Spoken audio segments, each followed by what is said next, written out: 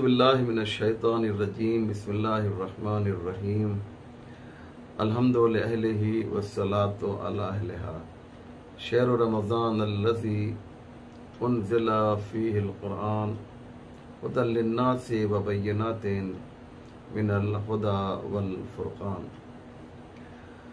अल्हम्दुलिल्लाह माह मुबारक रमज़ान के कुछ दिन बखूबी हमने गुजारे।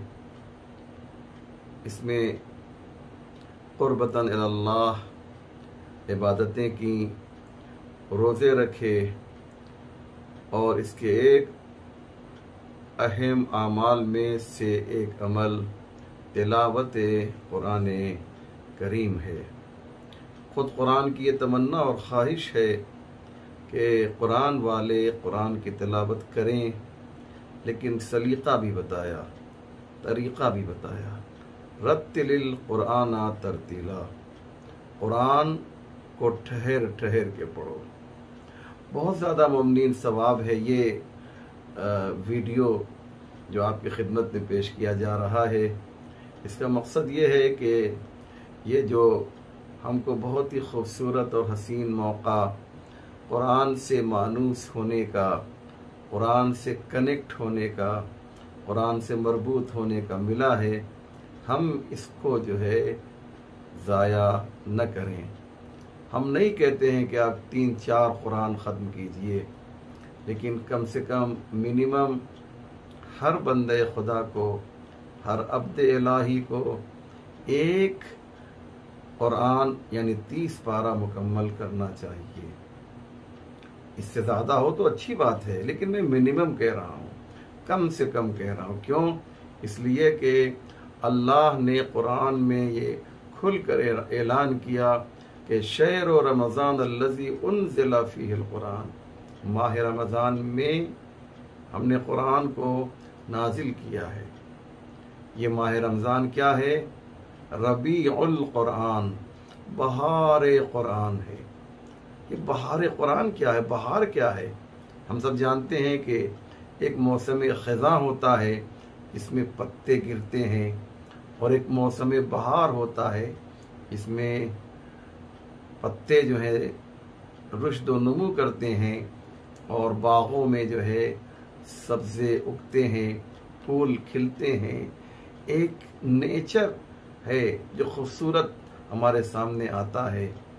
इंसान उसको देखकर मसरूर होता है। इसी तरीके से साहिबान ईमान के लिए भी एक बहार रखी गई है और उस बहार को माह मुबारक रमज़ान कहा जाता है। लिहाजा बहार से फूलों को देखकर जिस तरीके से इंसान खुश होता है, उसी तरीके से कुरान की तिलावत करके माह रमज़ान में जब दाखिल होता है तो उसे बहुत ही खुशी मिलती है।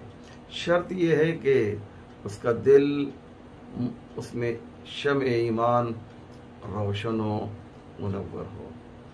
लिहाजा ममनिन, जो बात मुझे अर्ज़ करनी है, जो बात मुझे कहनी है, वो ये है कि इस हसीन फुर्सत को हम हाथ से जाने न दें।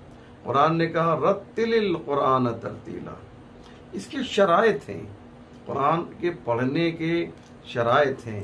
पहली शर्त तो ये है कि हम जो है, क्या करें? इसके अंदर जो है, सबसे इम्पोर्टेंट बात यह है, जब कुरान हम पढ़ें तो वज़ू करें। नंबर एक। दूसरी बात यह है कि लिबास हमारा पाक व पाकिज़ा होना चाहिए। अगर रूब किबला भी हैं तो भी बहुत ही अच्छी बात है। यहाँ तक कि आया ने कहा है कि जिस जगह पर बैठें, वो जगह भी हमारी जो है बहुत ही बेहतर हो। ये सारे शराइत हैं।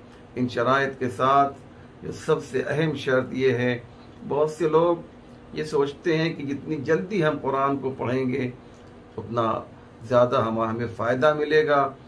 हम एक ही पारा हर रोज़ ख़त्म करें, लेकिन आहिस्ता पढ़ें। इस तरीके से पढ़ें कि जो है खुजू व खुशू जो है, वो बाकी रहे। तलफ़ प्रोनाउंसिएशन जो है, वो अदा होता रहे। वरना बहुत से लोग कुरान पढ़ते हैं और इस तरीके से कुरान ऐसा नहीं होना चाहिए, बल्कि कुरान को आप आहिस्ता आहिस्ता पढ़िए। बिस्मिल्लाहिर्रहमानिर्रहीम। अल्हम्दुलिल्लाह रब्बिल आलमीन है ना? इसलिए यहाँ तक कि कुरान के लिए दूसरा भी अगर कुरान पढ़ रहा है तो भी आपको सुनना चाहिए। वह इज़ा कुरान फ़न से तू जब कुरान पढ़ा जाए तो फस्तम लहू व अन से तू लकुम तुरहमून। ये सूर्य आराफ की आयत नंबर 204 है। यानी क्या मकसद? कुरान जब पढ़ा जाए तो आप उसको सुनिए।